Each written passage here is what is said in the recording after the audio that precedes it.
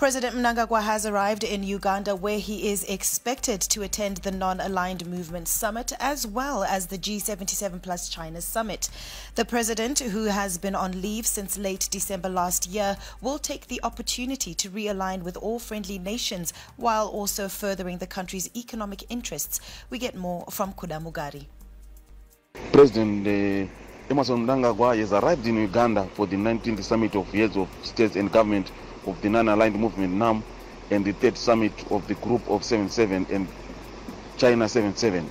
He was welcomed at Entebbe International Airport by the Minister of Foreign Affairs and International Trade, Ambassador Frederick Shava, who was in the advance team and attended several NAM preparatory meetings during the week. The president is among the over 30 heads of state and government who are attending the summit, or in or in or Uganda is expecting around 1,500 delegates to attend the summit. And President is also expected to address the summit uh, tomorrow morning. Representatives of organized labor have called for United States dollar indexed salaries to safeguard workers against inflation. This was discussed at the tripartite negotiating forum social dialogue retreat taking place in Victoria Falls.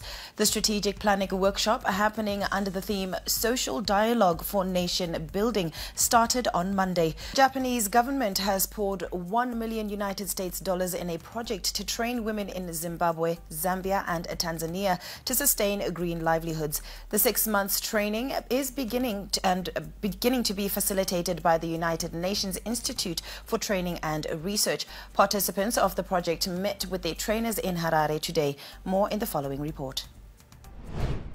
Africa is one of the most hard hit continents by climate change, although its contribution to the phenomenon is very little. With help from the United Nations, Female entrepreneurs in Zimbabwe are now taking initiatives that minimize or adapt to the adverse effects of climate change on the continent. We are developing green uh, livelihoods projects, and the target group is women and youth coming in from Tanzania, from Zambia, and from Zimbabwe. The women drawn from sectors such as agriculture and waste management are trained to find sustainable ways to run their businesses. Not only is this kinder on the environment, but it reduces their business cost too. Instead of using an electric powered um, vegetable dryer, we are now using a solar powered dryer. So it's saving us on our ZESA bill.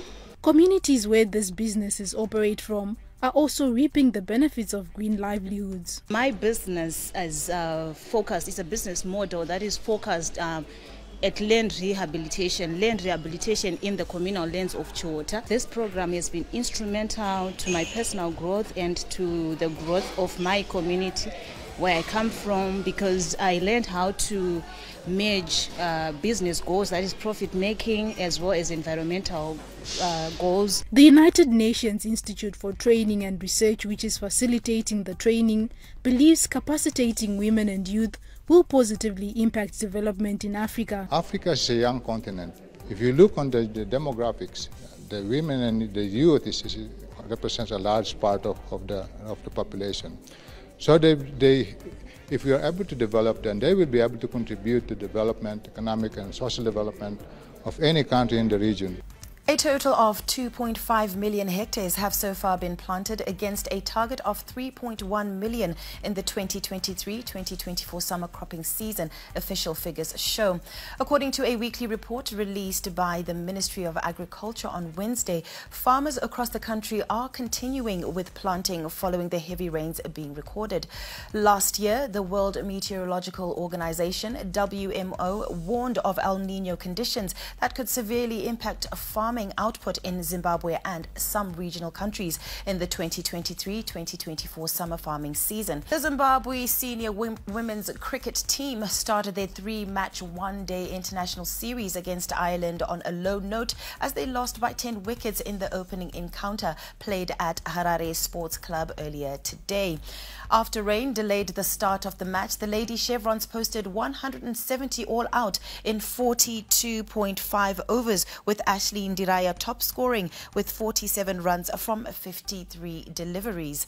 The target was then reduced to 110 runs in 21 overs, and the Lady Chevrons bowling department failed to deal with the Ireland opening pair of Amy Hunter and Gaby uh, Lewis, who made sure that the visitors reached the promised land in just 13.1 overs.